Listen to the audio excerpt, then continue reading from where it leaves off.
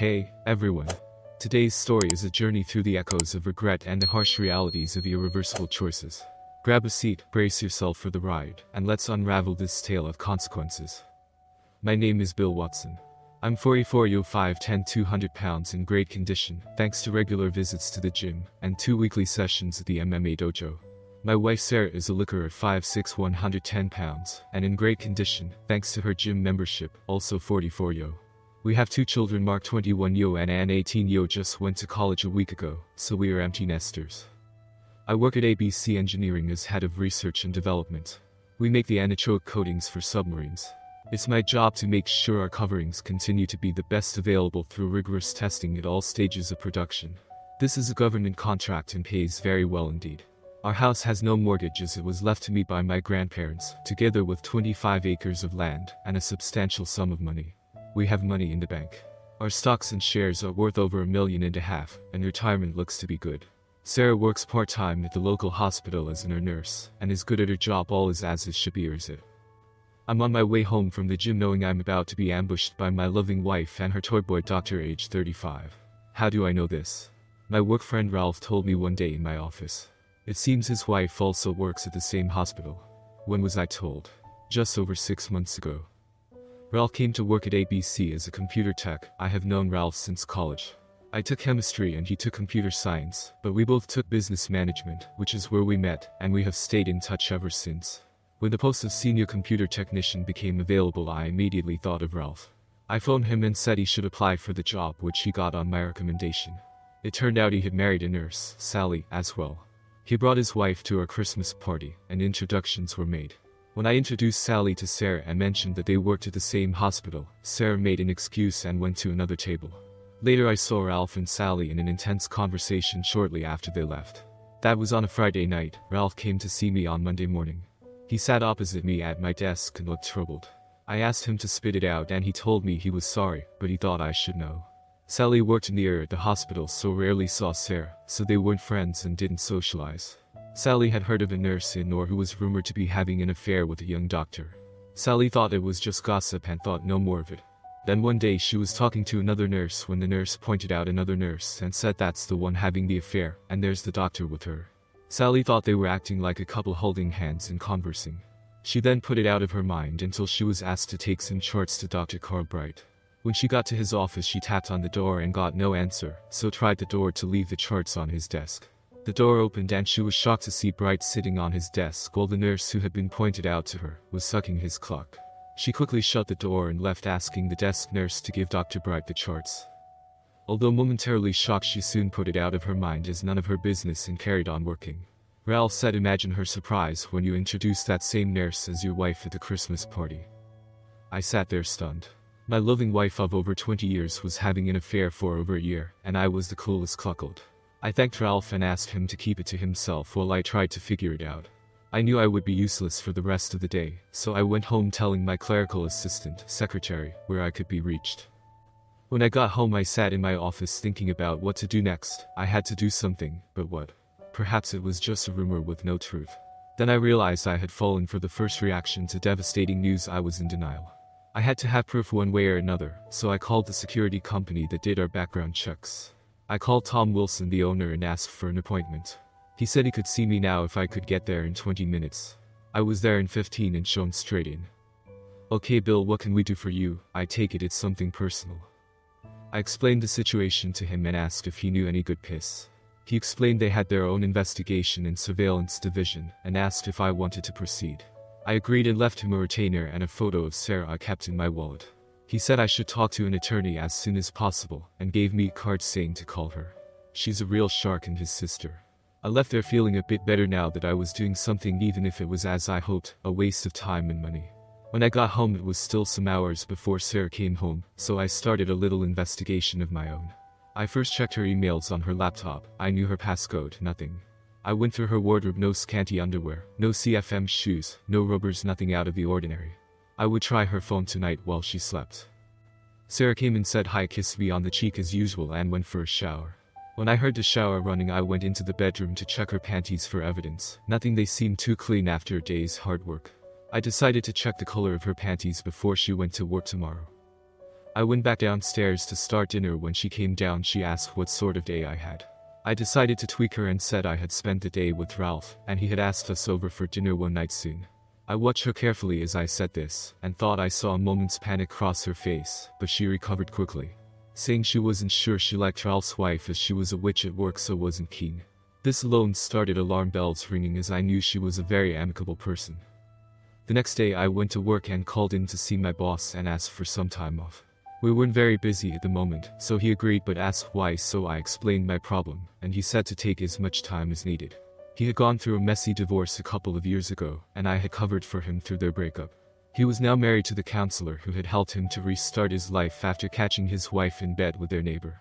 He gave me her card and said he would tell her to expect a call. I thanked him and went back to my office where I called the attorney Tom had recommended. I got an appointment for that afternoon. When I arrived, I was shown straight in, and she introduced herself as Jane Scott and shook my hand. She said that Tom had spoken to her and asked how she could help, and did I have any proof. I said I was waiting for the PI's report at the end of the month. She explained that she could still file for divorce, citing irreconcilable differences, but proof of adultery would give me a stronger case. I agreed she should prepare the paperwork based purely on what Ralph had told me Sally had seen. She then gave me a list of things I could do to mitigate my financial loss. She also warned me not to do anything stupid or to try to hide any assets from her attorney. She said it would be a 50-50 split, but as I earned much more than her, she would get spousal support for the rest of her life. Which meant I would be paying her to duck other men, no way Jose.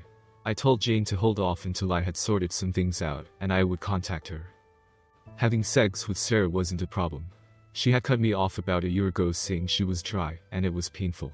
I suggested using lube, but she said it was more than that she no longer felt interested in sex, but would help me out with hand and blue jobs. This all made sense now that I know she was having an affair at work. The hand and mouth relief became less often and then only when I asked for it. One morning I cuddled up to her with a stiffy rubbing against her back she shot out of bed screaming. That's all you ever think about sex, sex, sex you're a ducking pervert now leave me alone. And she went into the bathroom slamming the door. That afternoon I moved all my stuff into the guest room, and I haven't been in the master bedroom since. That was six months ago needless to say my right hand is getting a workout at least twice a week. The funny thing is after about a month I found I didn't miss sex with Sara anymore the temptation was missing, so I felt no rejection. Our relationship improved at the same time I made this discovery, and we became roommates rather than husband and wife. I once asked our doctor about our situation, and he said it was quite normal for a woman of her age to go off sex, but her sex drive would probably return in time. I love her so much, so I decided to wait and be as supportive as possible. Now all the above makes sense what a chump I've been well, no more the gloves come off. A month later Tom asks me to come to his office, so the PI's report is ready. As soon as I see Tom I know it's going to be bad. Tom tells me to take a seat he then looks at me as he seems to come to a decision. Bill you are right we have audio, photos and video proving her affair with Carl Bright.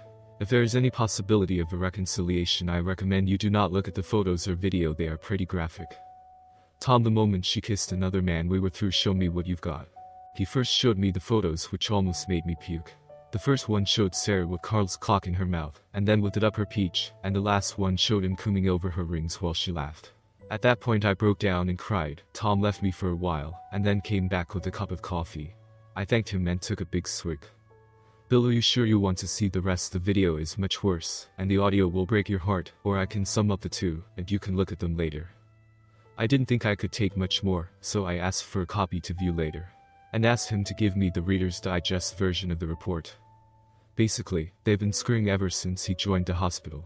Sometimes in his office and other times at the Silver Dollar Motel. Shortly after they started their affair he demanded she cut you off then a few months later he told her to not give you any relief at all. They did this to try and force you to start your own affair, so that she could divorce you and clean you out.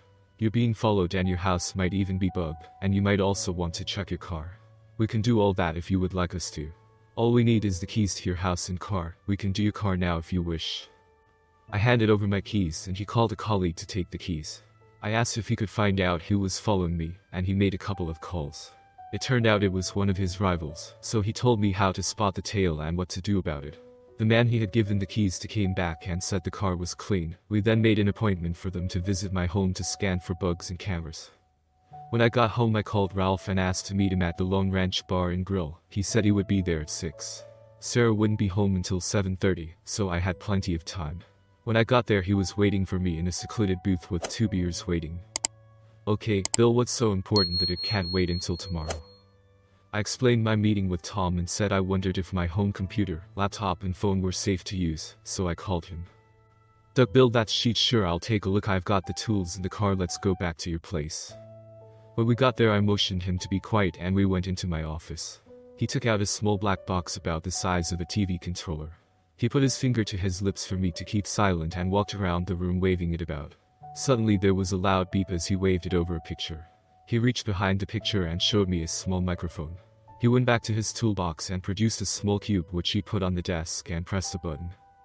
Okay we can talk now I neutralized the mic, and there doesn't seem to be any other devices in here. Do you want me to destroy it? I thought about it for a minute. No, but can I have one of those pointing to the cube? I don't want her to know I've found out about her putting surveillance on me just yet, and I can use that to feed her false information. Will the people who put that in here know we found it? No, it will just look like there was nothing to record. Now let's check your other appliances. He found a keystroke logger on both my desktop and laptop computers. We left the one on the desktop so as not to alert anyone to me knowing it was there. I had a plan to disable her logger on my laptop. The phone was found to be clean, so no action was needed. That night we watched TV for a while, and she said she was tired and was going to bed. She went to kiss me, but I turned my head, and she kissed my cheek. She stood there looking uncertain and said, I love you, baby. I replied that's nice, I've got work to do so good night. The next day I bought new hard drives for my laptop and desktop computers, and had them fitted by Ralph, who transferred everything over to the new drives. I kept the old drives in my safe at work for future reference. At dinner that night Sara was quiet just answering me when necessary. I wanted to put her on edge, so I started a conversation. A funny thing happened today. I noticed my laptop was running slowly, so I asked Ralph to look over it. Ralph found a virus that was recording my keystrokes, so he changed the hard drive to a new one. As you know my laptop is supplied by the company, and as we work with sensitive government projects, it was classed as a security breach. We reported it to security who sent the drive to the FBI for examination. If they discover who put the virus on the drive they could spend the next 25 years in federal prison for treason. Sara dropped her knife and fork and ran to the bathroom, and I could hear her throwing up. I had a little chuckle to myself, the drives were safely in my safe at work, but it gave me an idea about informing the FBI later. When she returned her face was a whiter shade of pale, I pretended not to notice. Are you okay Sara you don't look too well. Just went down the wrong hole that's all. Well, as I was saying, I keep a lot of information on my desktop, so I also changed that drive. I also checked my phone, but that was clean. The head of security said that the FBI would also want to do a sweep of our house and cars sometime soon. Sara went even whiter if that was possible and didn't answer me. I bet all the surveillance gear they installed will be removed by the end of the week. I would love to be a fly on the wall when she tells her boyfriend he may go to prison. I needed a plan to minimize my financial exposure when we divorced without ending up in prison. I needed time to put the plan into action. I needed her to keep seeing the asshole while I implemented my plan. I needed at least six months. Sara went to bed early again, good I can hardly stand to be in the same room with her anymore. So, I went into my office and sat at my desk formulating a plan of action. Three hours later I had what I thought was a workable plan. I slept well that night. The next morning, I went to see my boss Frank and told him what was going on. He said he would help in any way he could, having suffered a messy divorce a couple of years ago. I laid out the first part of my plan that he would let me go as things were tight at the moment. He said he couldn't let me go completely as my work was critical to the company's ongoing success. But I could work as a consultant from home, and therefore would not be classed as employed. I will be officially unemployed from next Monday. Next, I contacted Tom and asked if he could put audio surveillance in all the rooms at home, and also in Carl Bright's office. He said that wouldn't be a problem, but I couldn't use the take from the office in court. I said it was just to gather information, so he agreed and sent a man around that afternoon. I was surprised it only took him half an hour, so I asked what he had done. He had replaced the plug sockets with ones with a mic attached. They worked just the same and looked identical. The feed went to my laptop and phone and then to the cloud for storage. I could even access it live when any noise was detected it would call my phone to let me know it was active, and I could listen in. He said he had also wired my landline, so that I could hear both ends of the conversation. I asked if he could do the same with her cell phone, and he gave me a little flat circuit board and showed me how to fit it to her phone. He then asked if I paid for her cell, and I said I did. He said I could use the take cord in that case, as it was legally my phone. That night I told Sara I had been fired, but would soon find another job. She didn't seem happy about that so I said to look on the bright side I would be home most of the time, and we could spend more time together. She looked positively pissed at that. I gathered that from her reaction I had just put a major crimp in her sex life, I had a little chuckle at that inside myself. Sara came into the lounge that night after dinner dressed in a see-through nightie and nothing else. She sat down opposite me with her legs open showing me her shaved kitty. She looked at me and smiled. Baby it's been a long time how about an early night? No thanks, there's a game on later I'm going to watch that. Good night. And I went into my office and shut the door. I heard her gasp and run up the stairs. I even thought I heard her crying. Good now she knows how I felt when she cut me off. But I had to wonder what she was trying to accomplish as she was getting all the sex she needed from Carl the sheethead. I did watch the game with a couple of beers. That night I waited for her to go to sleep, and I could hear her gently snoring. I crept into her bedroom and took her phone to put the listening device that Tom's guy had given to me into it, then put her phone back on her charger and went back to bed. The next morning, I was up at 6 and went for my morning run. As I ran my phone chirped letting me know she was making a call in my absence. I stopped to listen. Hi Carl, he's out for his run did you get all of that stuff out of the house? You got it out yesterday while he was out, do you think he suspects? I don't know I tried to get him to duck me last night, and he turned me down flat the bastard said he would sooner watch the game. Have you heard anything about the hard drive he sent to the FBI? I'm really worried about that. No nothing yet do you think they could trace it back to us? Don't know, but if they do we could be in a lot of trouble. Why don't I just divorce him now, I'll still get half of everything, and we can get married I might even get the house. Not yet we need to wait until after his 45th birthday, so that we can get his inheritance as well. Are we still on for this afternoon? Okay you're right of course and yes the usual place. I can't wait to get you clocking me and suck you off. Me too, see you then bye. Bye. I put my phone in my pocket and continued my run. I now knew why Carl the Sheet was interested in Sara. When my uncle died having no children he left the house to me, and a substantial sum of money was to be paid to me on my 45th birthday. But it had one stipulation. Sara and I had to sign a prenup to the effect that if either of us cheated the guilty party would get nothing. This also explained why they wanted me to start an affair, so that she would get everything. I would end up living in a shitty apartment eating beans on toast. When I got home Sara had gone to work so I sent my attorney, Jane, a copy of her conversation with Carl. That night I told Sara I had to go to Washington for a couple of job interviews, and would be away for a few days. She pretended to be upset at me going away, but I could see in her eyes she was pleased. The next morning, I was up early again and taking my run when my phone chirped. Once again Sara was talking to Carl the sheet. He's going away for a few days, why don't you come and stay while he's away, then you can duck me in his bed like you always wanted. Great when's he going? Tomorrow you can come over after work I'll cook you something nice before the main event. Little giggle. Okay see you at work tomorrow bye. The more I thought about Dr. Sheethead the more I hated him. I called Tom and asked him to do a full deep background on Dr. Sheethead. I also asked him to tip off the FBI that I was being followed, and would they take action on my way to the airport tomorrow. I then gave him the description and license plate of the car. We both knew it was the PI my wife hired, but the FBI didn't. As I was engaged in sensitive national security projects, I was considered a likely target for foreign agents to abduct. The next day I was up and gone before Sara and on the way to the airport, I saw my tail latch onto me just before I hit the freeway. As I took the airport exit three cars blocked him off and pulled him from his car. I saw all this in my rearview mirror. I was in a really good mood for the rest of my journey. I of course never went to Washington. I was going to Las Vegas to lose some money. A lot of money. I booked into a fairly plush hotel for three days, and went to one of the smaller casinos to lose some money. I went to one of the cash desks for some chips. I bought $100k of chips with my joint debit card $20k worth small donation chips, mostly $100 chips. For the rest of the night, I went around the casino making small bets. At the end of the evening, I was $15k down. I went to a different desk and cashed in my chips for a cashier's check, then went to bed. The next night I repeated my actions at a different casino and again the next night. Before I check out I opened a numbered account at a bank in the Cayman Islands, and posted the checks worth 270k by recorded delivery and went home.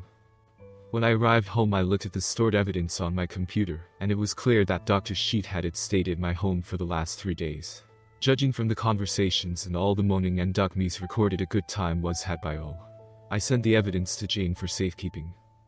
The next few weeks went much as before with a few exceptions.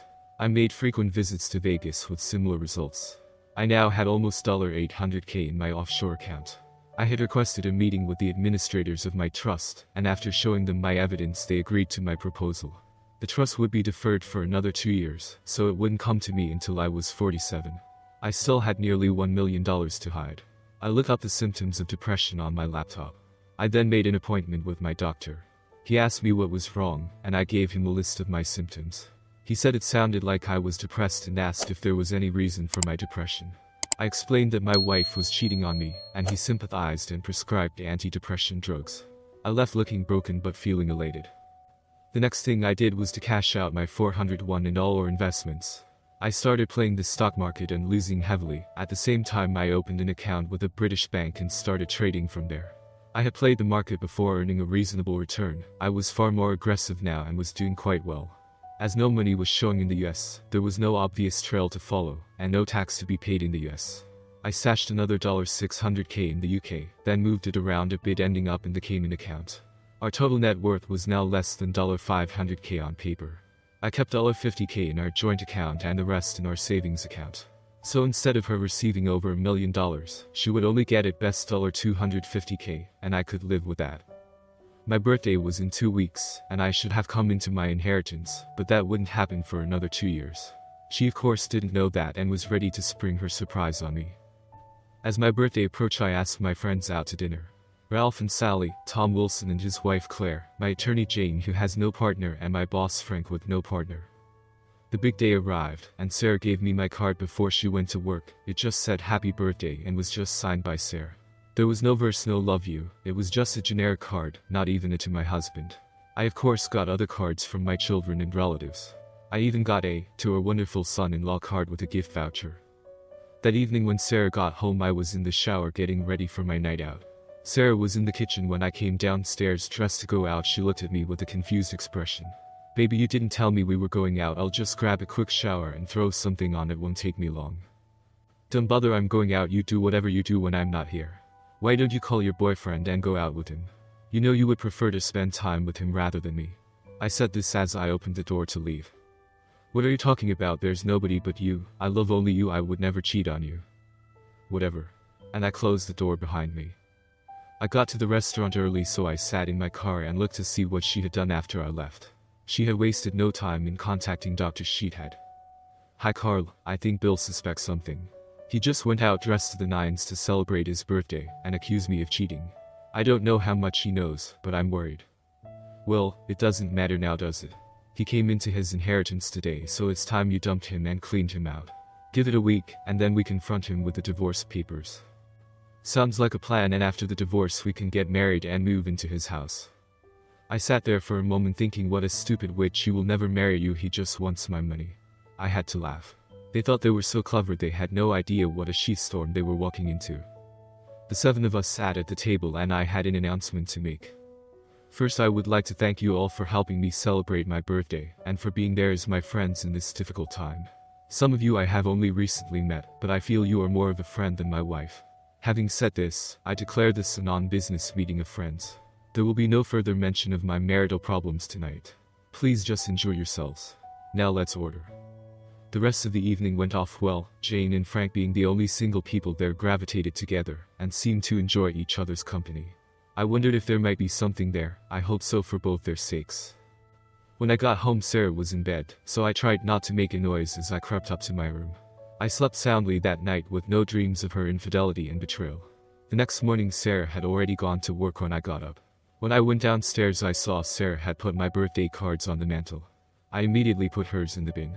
Yes I know it was petty, so sue me, I went for my usual run, then spent some time playing the European stock markets. I realized I was hungry at about 2.30 so went to the local deli for lunch. I took my laptop with me to monitor my morning's work.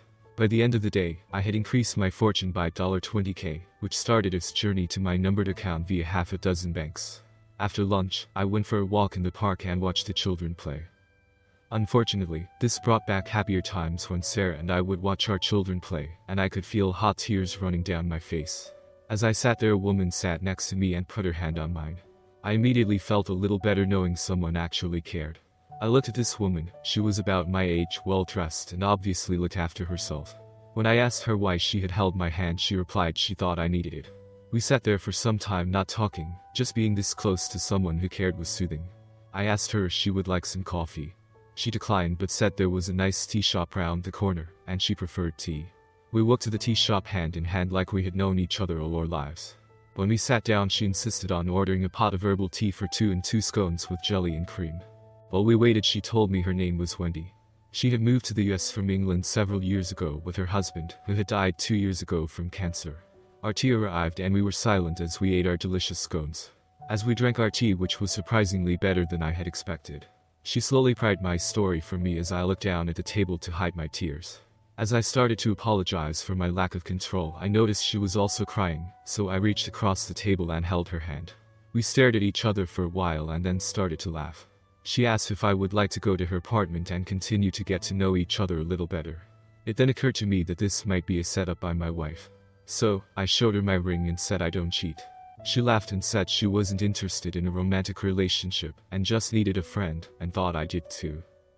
We went to her apartment which was just a block away and overlooked the park. I was surprised when the doorman of a high-class building recognized Wendy and held the door open for us to enter. I was further surprised when she walked past the elevators to a key-operated elevator that led to the penthouse suite.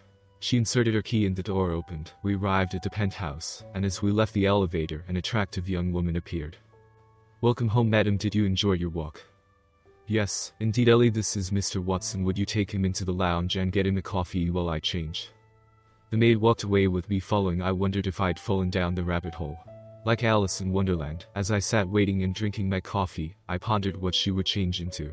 When she left she was wearing a conservative dress ending below the knees, 3-inch high heels, and carrying what looked like an expensive purse. She looked to all the world like a businesswoman going to lunch. When she returned she was wearing denims with a pullover and sensible shoes with a 2-inch heel. She had also put her hair in a ponytail she looked 10 years younger. She sat opposite me and smiled. Now we look like a couple instead of a rich aunt with her nephew. I then realized I wore denim jeans, cowboy boots, and a check shirt. She was right, we now look like we belong together, and I had to laugh. She sipped her coffee and looked at me over the lip of her china cup. So now we look the part where are you taking me for dinner, not a restaurant, please. I hadn't thought about it. How about a Western-style bar and eatery? I know a good one not far out of town. Excellent. I grab a jacket it might get cold later. As we left she called out to Ellie. You might as well take the rest of the day off I won't be home till late. And we left. We walked back to the park where I had left the car. I beat the remote and the indicators flashed. As we drove to the out-of-town grill Wendy remarked nice wheels. I drove a five-year-old Volvo XC90. It was indeed a nice car. Sara of course drove a two-year-old BMW Sport Coupe. It was a lease car so that she could change it every three years. We arrived at the ranch house grill and went inside. There were a few empty booths as it was still early. We picked one at random and sat down. A tired-looking waitress sauntered over wearing an almost identical outfit to me, but with a Stetson on. She dropped two menus and asked what we wanted to drink. Wendy ordered a beer and I ordered a non-alcohol beer. We sat reading our menus until the drinks were brought and ordered the same thing. A rare 10 ounces steak with fries and a salad. As we waited a band started to set up on the small stage and tune up. The meal arrived 20 minutes later, just as the band started playing a western ballad. A few couples started to sway across the floor in time with the music. We finished our meal and ordered another round of drinks after they arrived Wendy asked me to dance, and I accepted. We shuffled around for two songs and sat back down. I was just about to take a swallow of my beer when a hand was laid on my shoulder. When I looked to see who the hand belonged to, I saw a man about 6'3 standing there. Hey mister you want to move that's my seat you're sitting in, and he squeezed my shoulder. The waitress came over. Clive I've told you before you don't own this booth there are plenty more empty booths why not sit in one of them? Mind your own business B. I like this booth and him and his whore are gonna move that right mister? A waitress, B, grabbed his arm and tried to move him away, but he turned and gave her a shove. She took a couple of steps backwards, tripped over a chair leg and fell hitting her head. I stood up and tapped him on the shoulder. Hey, big mouth how about you try that on a man instead of a woman less than half your size? He turned to face me. I would if there was a man in here you don't qualify short stuff. I looked meaningfully at the security camera and said, let's you and I take this outside. I then walk out the door, he had to follow, or he would have looked ridiculous in front of his friends. As he left, he looked at Wendy and said, Back soon, sweet cheeks, then you and I are gonna have some fun if you know what I mean. And he pushed his groin towards her several times. I stood in the half-empty parking space, noticing the security camera mounted on the wall. When he came out with his supporters in tow, I extended my hand palm up and crooked my fingers. Come to me, he stood there laughing at me and said when I'm done with you, I'm gonna duck your whore till she can't stand up. I just smiled at him. Okay, big boy as you have all the mouth you can take the first shot. He turned to his followers as if he were going to speak, then spun around trying to deliver a crushing roundhouse punch. I easily ducked under his arm, stepped forward, grabbed his collar and kicked him in the back of the knee. He went down howling I then dropped and kneed him in the stomach he rolled into a ball and threw up. I knew he was finished, and so did his friends who looked shocked at their hero's demise. The whole episode had taken less than two minutes. I walked back in, dusted my jeans and apologized to everyone for disturbing their night out, for which I got a round of applause and some cheers. The waitress was all right and up again, but someone had dialed 911 and asked for the police and an ambulance, thinking I would need one.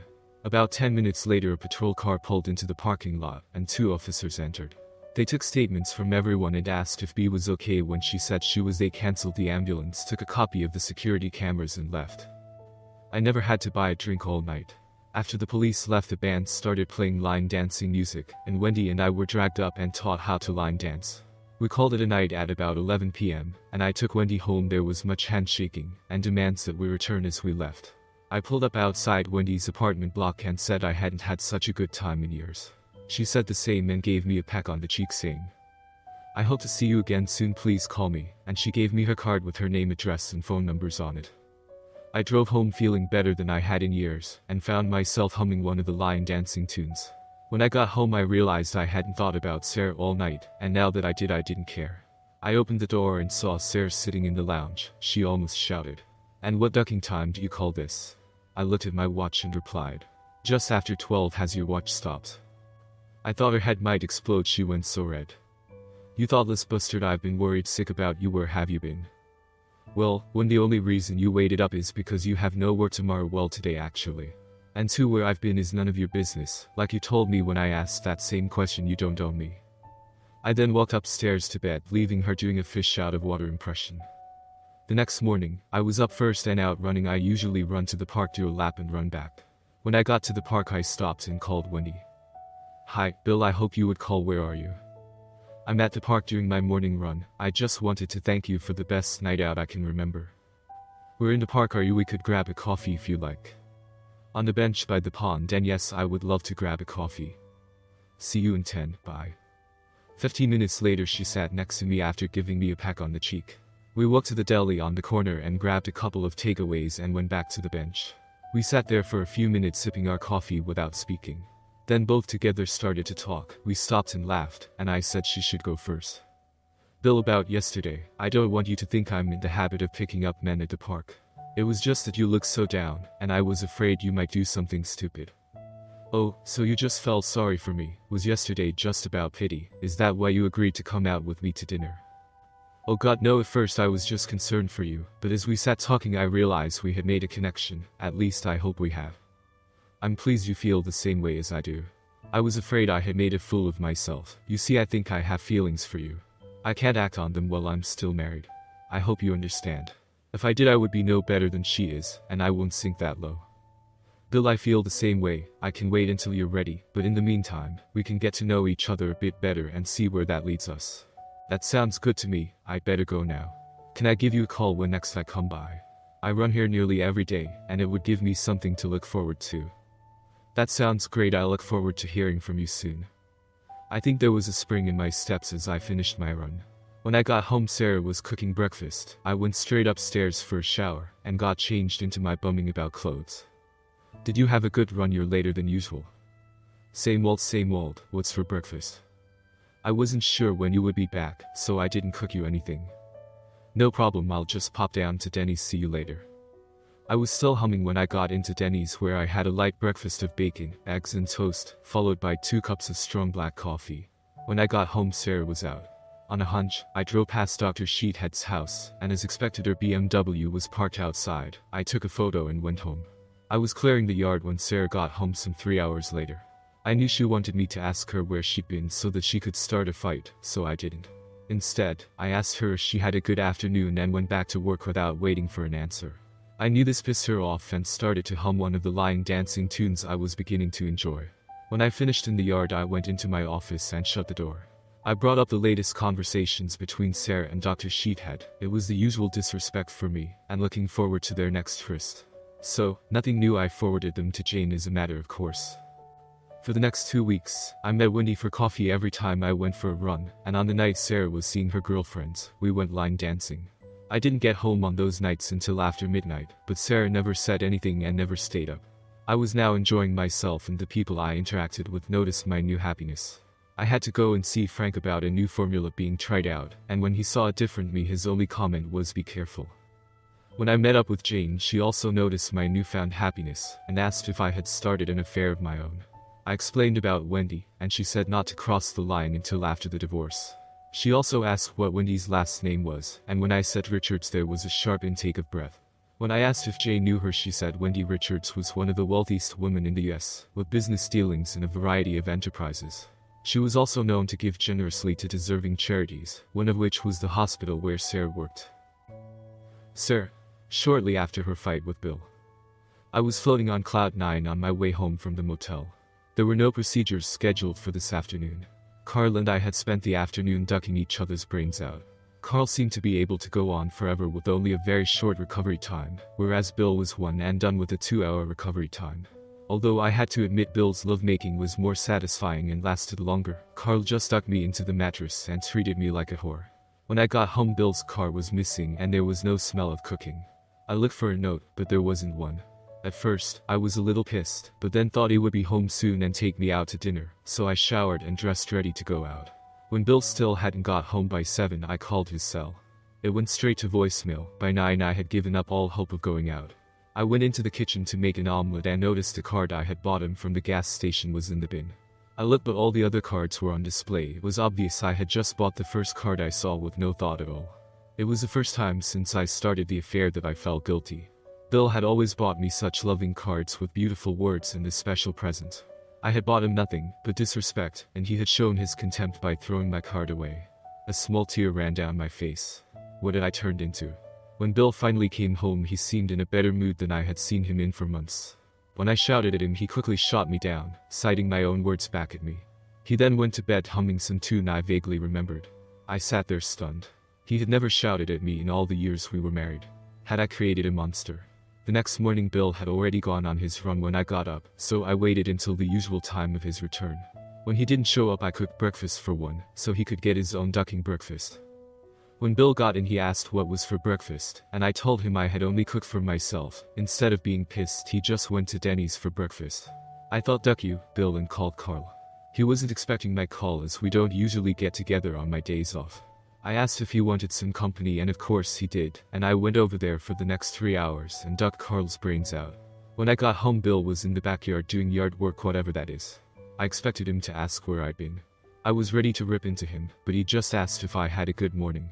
He didn't even wait for a reply, he just carried on working. It seemed as if he just didn't care.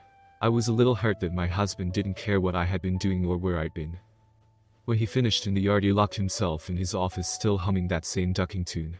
The next day Bill was up and out before me again, I hardly ever see him anymore, he's either running at the gym or the damn dojo. I must admit though he sure looks ripped and fit. In fact, he looks in better shape than Carl. After our morning procedures were done Carl and I had our usual session in his office. Afterwards, we sat talking about Bill's change in attitude and decided to drop the boom on him this Friday after work.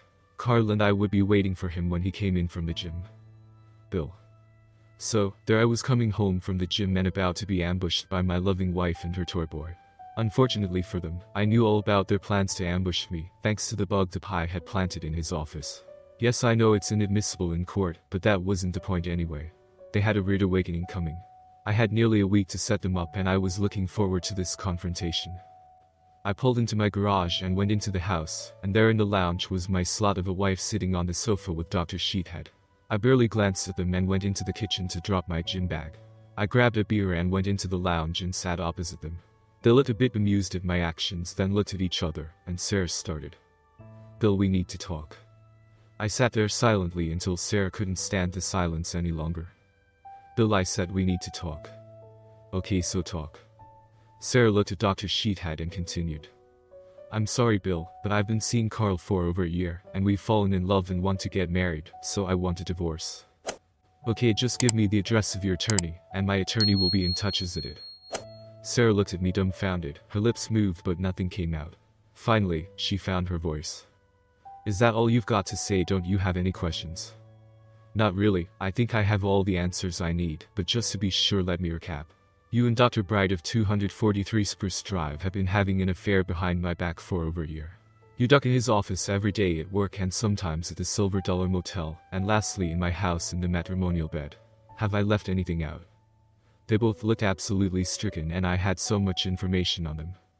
Sir, I heard you and Scumbag discussing how you were going to divorce me and clean me out. Well, it's not going to work out quite as you thought it would. Now Sheethead get out of my house before I throw you out. You have no right to throw him out I invited him, and it's my house too. Once again you have underestimated me. This house was given to me by my grandparents before we met so it's not communal property. So once again and for the last time get the duck out of my house, you slimy piece of shit. He still didn't move so I picked up my phone and dialed 911. Emergency services, what is your emergency?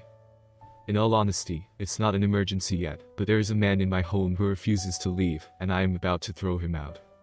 Please sir don't do anything yet there is a patrol car on its way, please keep this line open. I sat there smiling at them waiting for the police to arrive. After about 15 minutes a patrol car pulled up outside, and two officers came to the door and knocked. I shouted for them to come in and they did with their hands on their guns. I explained the situation and even showed them the recording of our confrontation. They asked to see proof of my singular ownership which I showed them. Satisfied with my evidence they told Sheethead to leave which he did. I went to the window and watched him get into his car. He didn't drive away, he just sat there. The officers then asked me if I wanted my wife to leave, and I said not yet. I again dialed a number on my phone and said just one word now. Shortly afterwards there was a knock on the door, and a man in a grey suit walked over to Sara and asked if she was Sara Watson. She said yes she was, and he handed her an envelope and said, You have been served and left. She looked at me with tears streaming down her face. I looked back at her and said, Why are you crying, isn't this what you wanted? That's what you said, I have it recorded. Now while these nice police officers are here go and pack your bags, you have 15 minutes to get out. She almost ran up the stairs, and I noticed the two officers were grinning at each other. Fifteen minutes later they were escorting her out of the house, but not before I removed her rings and gave her mine. When you're ready to collect the rest of your stuff contact my attorney. And I gave her Jane's card. She turned and looked at me as I slammed the door in her face. The next day I had all the locks changed. I did the usual things cancel joint credit cards, but I did leave the joint savings account open. I didn't know how much Sara had in her account, but I had less than $5k in my account and $500k in our joint account. I put $100k in the children's education fund, and their future education was safe with the amount already in there. That left $400k from which either of us could draw funds. I then changed my life policy beneficiary to the children and removed Sara from my health insurance plan. Sara's attorney did contact mine and at a meeting, it was agreed to split our communal assets 50-50s. When the assets were disclosed as only $400k Sara went ballistic, claiming our assets were at least $3 mil. When shown the account details she said I had hidden the rest and would see me in court, the meeting then broke up. When our case came to court my wife was claiming $1.5 million in assets, the house and land and half of my inheritance.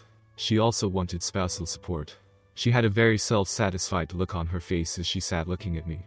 Jane stood and addressed the judge. Your Honor, it's true that Mr. and Mrs. Watson did have assets to the value of some $3 million 13 months ago, when Mrs. Watson started her affair with Dr. Bright. When Mr. Watson found out about her affair, he went into a deep depression and was prescribed diazepam, a powerful antidepressant. She then handed some paperwork to the court bailiff to give to the judge. As you can see, Your Honor, there is a deposition from his doctor testifying to the fact. His depression was so severe that he started making mistakes at work and got fired and has not worked since. Then quite out of character, he started gambling and lost most of their money at various casinos in Las Vegas.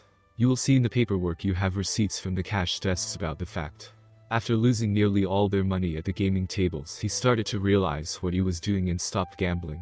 But he felt he needed to replace the lost funds, so he cashed in his 401 and all their investments and savings bonds, except the children's education fund. He had had some success in trading on the stock market in the past, so he tried to recoup the losses that way. Unfortunately, he lost more than he gained, and when he finally stopped trading he was down to the last $500k. He put $100k in the Children's Education Fund and has agreed to split the rest 50-50s with his wife some $400k.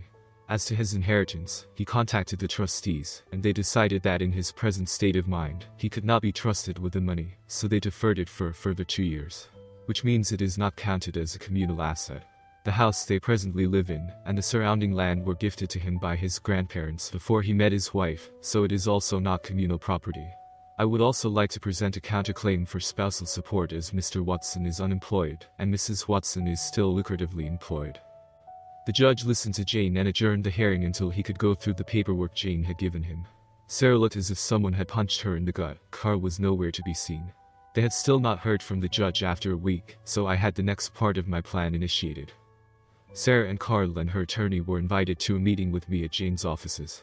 At first, they didn't want to come, but when they were advised that I still had evidence the FBI would be interested in they relented. I was sitting on a straight-back chair in the corner of Jane's office when her secretary showed them in. As they sat on the sofa a deputy sheriff and a man in a suit came in behind them. Sara and Sheet for Brains looked at each other in alarm. I started the meeting. First I would like to thank you all for attending this meeting. I would like to introduce the two gentlemen to both of you. The one in uniform is a deputy sheriff, and the other gentleman is Assistant DA Lawrence. The purpose of their presence will become obvious in due course. We will also be joined by four other women via Zoom in a little while. Dr. Bright, is it true that you started an affair with my wife just over a year ago? Is that why we are here? That will become apparent shortly. Is it true that you told my wife that you are single and wanted to marry her? Of course, I love her what's this about? Okay, it's time we zoomed with our other guests. I turned on the 24-inch TV that was already connected to the internet. It was divided into six squares. The first two showed two women about five years older than my wife. The third square was blank, but the other four showed women slightly older than my wife. They all looked extremely pissed. Under each, there was a name Jenkins, Adams, Farley, Grant, Mason and Grimes. I'm sure you recognize these women Dr. Bright Aka Jenkins, Adams, Farley, Grant, Mason and Grimes.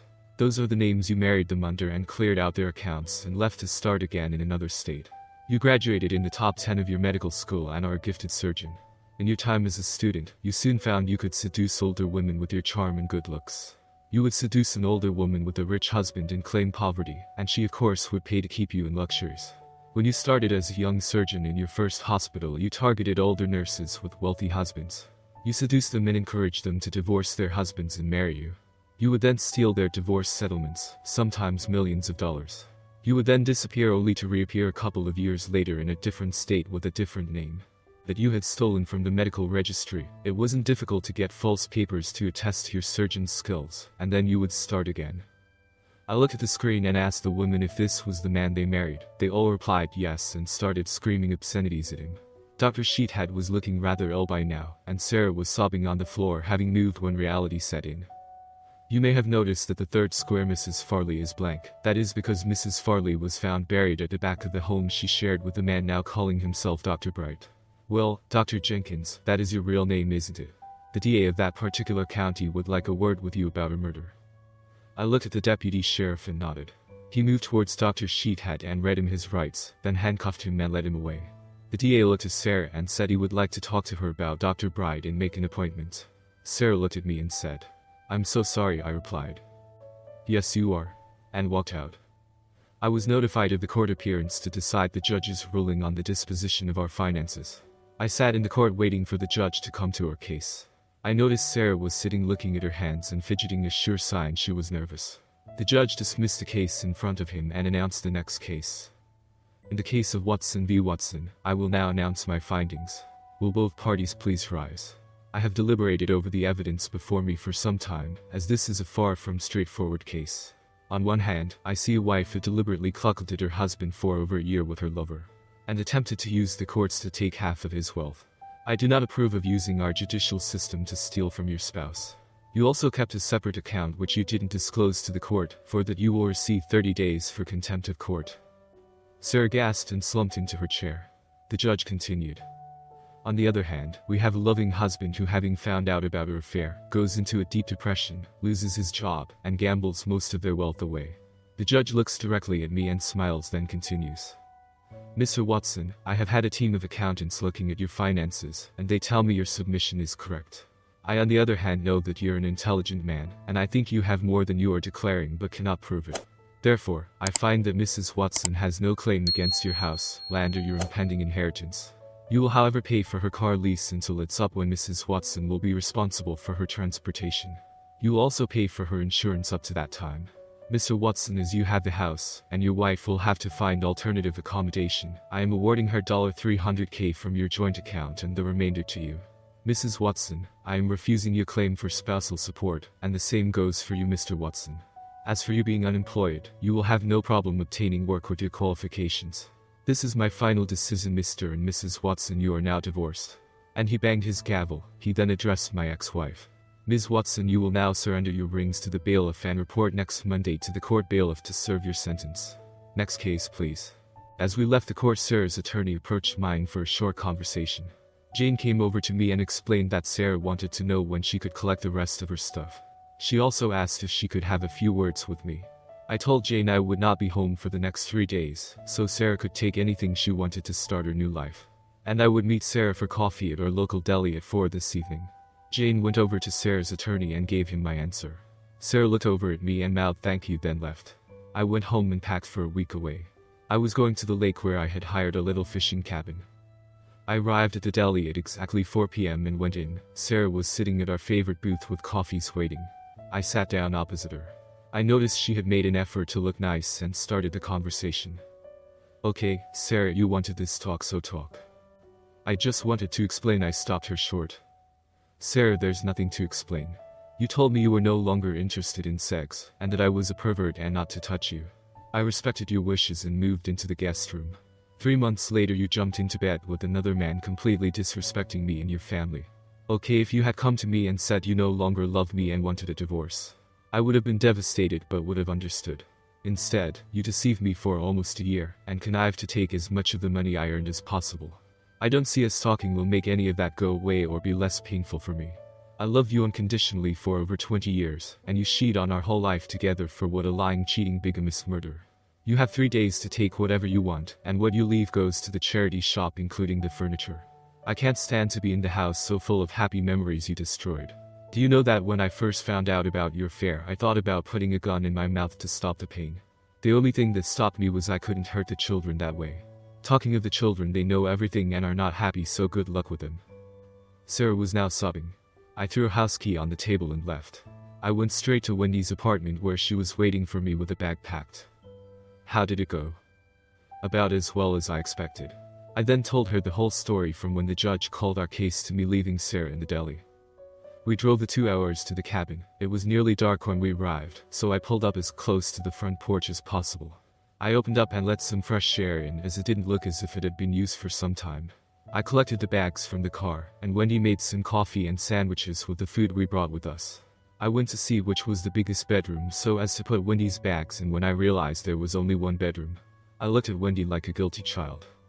Oh god, Wendy I'm so sorry I didn't realize when I booked that it only had one bedroom, I promise it wasn't planned. I'll sleep on the couch tonight and take you home in the morning. Remind me, Bill you were divorced this morning right? Yes of course you know I was. So, what's the problem or don't you want to make love to me? You know I do but I hadn't planned it I thought I would wait until you were ready. Bill, I've been ready for weeks I've been waiting for your divorce to come through, and now that it has, get naked and on the bed. Sara. Bill left me crying on my own.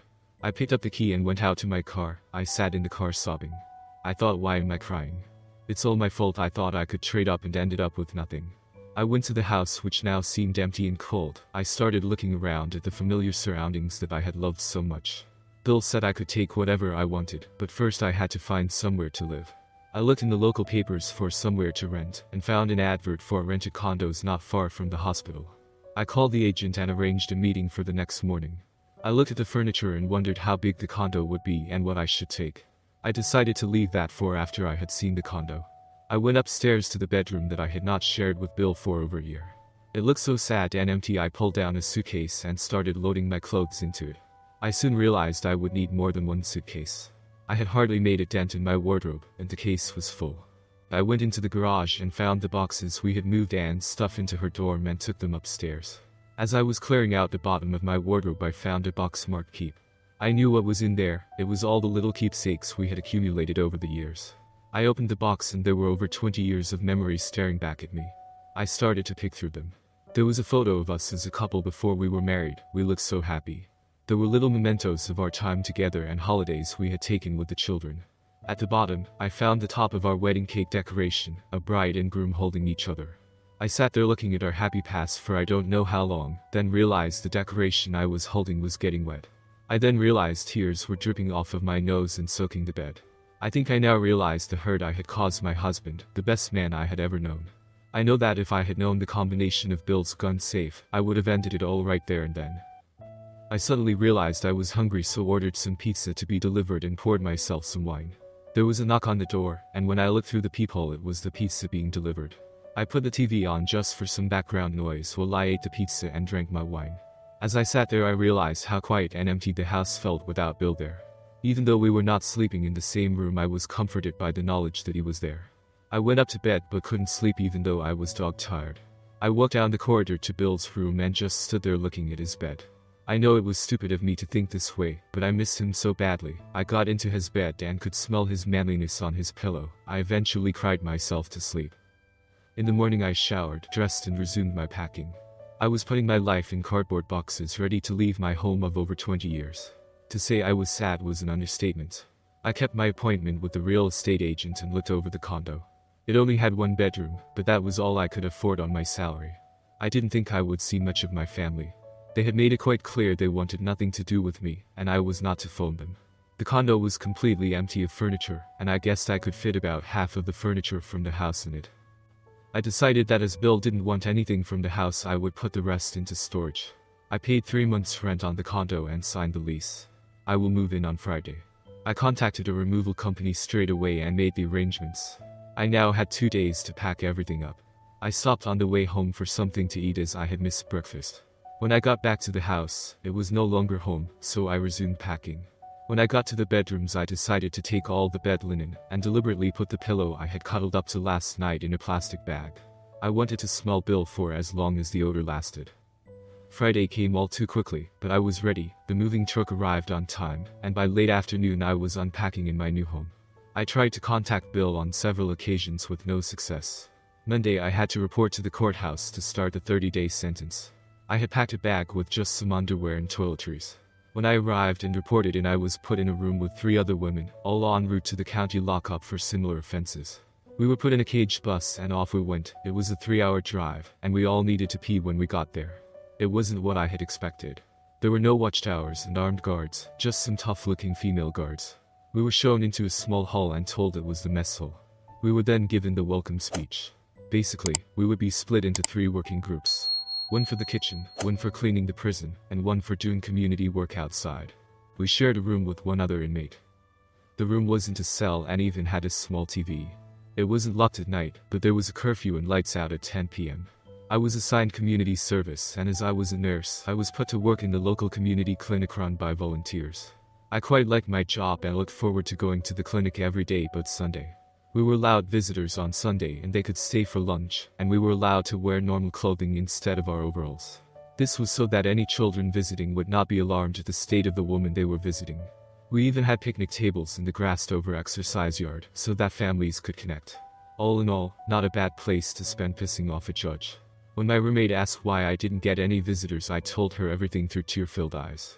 She told everyone else, and my nickname was Dipsheet. They called me that for what I had thrown away. Most of the inmates were of lower financial standing and would have given anything to have had my life. While I was there I did have two visitors, one from the FBI and the other from the DA's office. I was asked by the FBI agent if I was willing to testify against Carl and of course, I agreed. The DA was there to tell me I was to be charged with conspiracy to defraud, but if I agreed to testify against Carl, it would help my case again I agreed.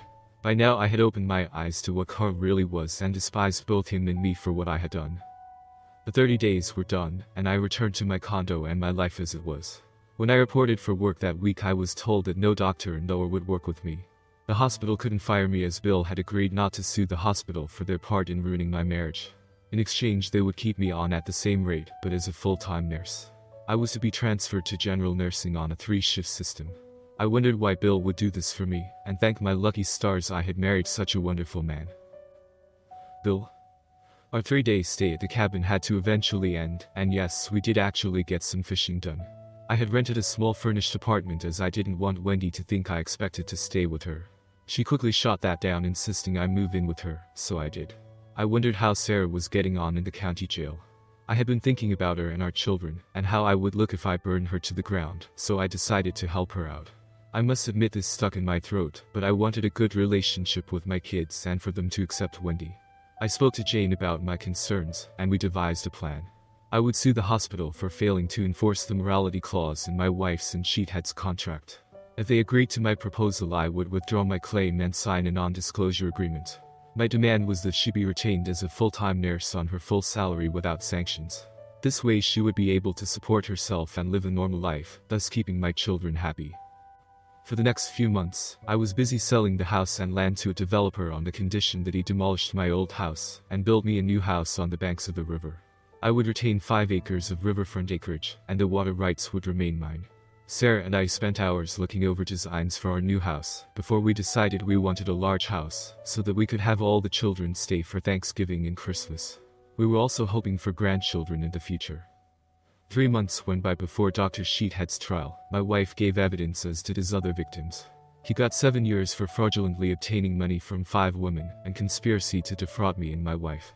My wife was charged with conspiracy to defraud and sentenced to two years suspended with 200 hours of community service. Sheethead was then handed over to the feds and tried for murder. The trial lasted less than a week, and he was sentenced to 30 years in the state penitentiary. Epilogue Bill and Wendy moved into their new house, and Bill's children were regular visitors. Anne never spoke about her mother and didn't keep in touch with her, but Mark and Sara were mending fences. Mark told Bill his mother lived alone and never dated and often asked about Bill. He said she was truly sorry about the whole episode. Although Bill and Wendy were happy but something was missing, the house was too quiet for just two people. After some discussion, they decided to adopt. They wanted to adopt two teenagers. At their age, small children would be too much to handle long term. So, they contacted various agencies to find what they wanted. They eventually adopted a brother and sister orphan when their parents were killed in an auto accident. Kevin was 14 and Tracy was coming up to her 13th birthday. At first, it was hard for them to adjust to new parents.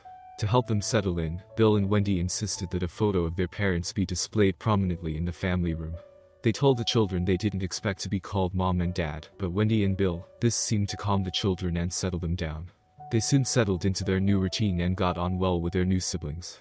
One Christmas two years later Kevin and Tracy asked if they could call Bill and Wendy, mom and dad from now on. There wasn't a dry eye in the house.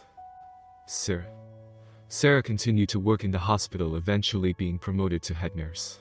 She never married again and rarely dated. She kept Bill's pillow on her bed, although his smell had long faded. She kept in touch with Mark and through him followed Bill's life. She often cried herself to sleep for what she had thrown away so selfishly. She still keeps a picture of Bill with the kids, and now grandchildren on her bedside table, and kisses it each night before going to sleep. The asshole.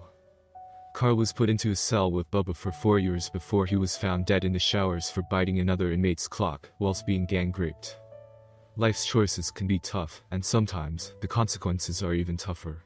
Until our next journey, take care, reflect on the moments that matter, and stay tuned for more stories right here. See you soon.